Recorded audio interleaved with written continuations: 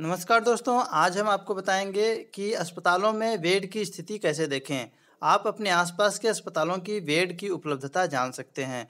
इसके लिए आपको क्या प्रोसेस अपनाना होगा, कैसे देख सकते हैं, इस वीडियो में आपको पूरी जानकारी देंगे।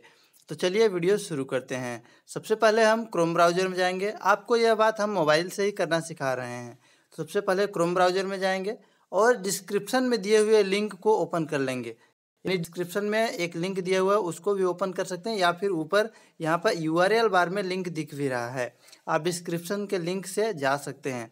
जाएँगे तो वहाँ पर जैसे ही इस पेज को ओपन करेंगे तो यहाँ पर आपको इस तरीके से खुल के आएगा। मैंने पेज को रिफ्रेश कर दिया, सामने आपके इस तरह से खुल के आया है। तो यहाँ पर अपना डिस्ट्रिक्ट चुनेंगे। मैं मध्य प्रदेश का हूँ तो मध्य प्रदेश की जानकारी बता रहा हूँ।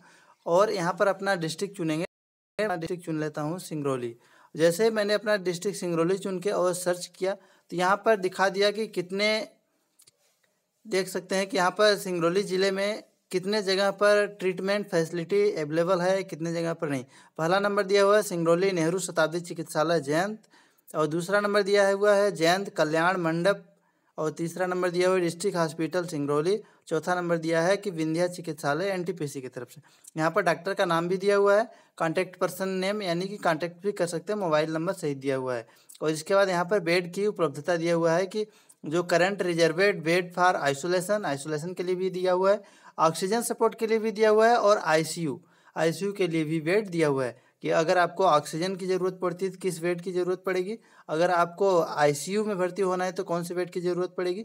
पूरी जानकारी इस लिंक पर मिल जाएगी। तो आप अपने एरिया में कौन से अस्पताल में कैसा बेड खाली है, मुझे किस बेड की ज़रूरत पड़ेगी, इस संबंध में जानकारी यहाँ पर चेक कर सकते हैं।